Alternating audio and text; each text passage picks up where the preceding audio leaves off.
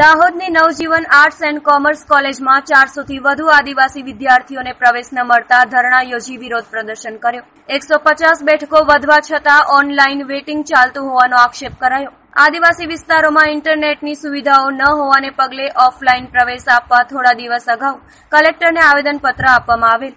આવેદનપત્રને પગલે કોલેજમાં ભણવા માટે આવેલ રેગ્યુલર વિદ્યાર્થીઓ ઘરે જવા રવાના થયા. કોઈ અનિચ્છનીય બનાવ ન બને તે માટે ચુસ્ત પોલીસ બંદોબસ્ત ગોઠવાયો છે. કોલેજના જવાબદાર ઓફિસ બેરર્સનું ઓફ કેમેરા કહેવું છે કે આમાં તમામ ભરતી પ્રક્રિયા ટ્રાન્સપેરન્ટ છે.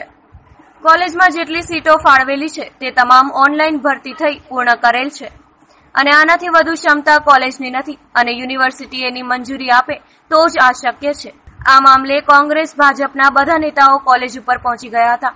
અને વિદ્યાર્થીઓના એડમિશનના બહાને પણ બંને વિદ્યાર્થીઓ સાથે છે. તેવું દર્શાવી રાજકારણ શરૂ કર્યું હતું. જે વિદ્યાર્થીઓને એડમિશન નથી મળ્યા, તેઓનું સ્પષ્ટ કહેવું છે કે જ્યાં સુધી અમને પ્રવેશ નહીં મળે, ત્યાં સુધી અમે રોજ જુદા જુદા ધરણા કાર્યક્રમો કરીશું અને ગાંધી ચિંધ્યા માર્ગે વિરોધ દર્શાવીશું.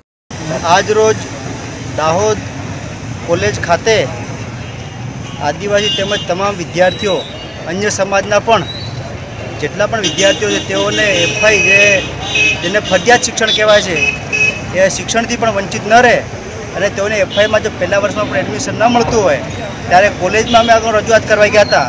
તો કોલેજવાળાએ એવું કીધું કે તમે યુનિવર્સિટીમાં રજૂઆત કરો. યુનિવર્સિટીમાં રજૂઆત કરવા ગયા તો યુનિવર્સિટીવાળાએ એવું કીધું કે કોલેજવાળા માંગણી મોકલશે તો અમે લોકો પ્રવેશ આપીશું. તો વારંવાર વિદ્યાર્થીઓને ધક્કા ખવાડતા આજની તારીખમાં ચારસોથી પાંચસો વિદ્યાર્થીઓ કોલેજના પ્રવેશથી વંચિત છે.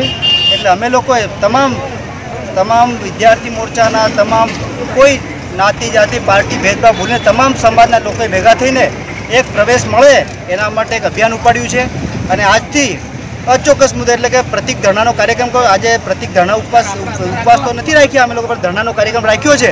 અને એ કાર્યક્રમ અમે અલગ અલગ દિવસે અલગ અલગ કાર્યક્રમ આપીશું. એટલે આજથી અમારો કાર્યક્રમ ચાલુ થાય. જ્યાં સુધી નિરાકરણ નહીં આવશે, ત્યાં સુધી આ કાર્યક્રમ ચાલુ રહેશે.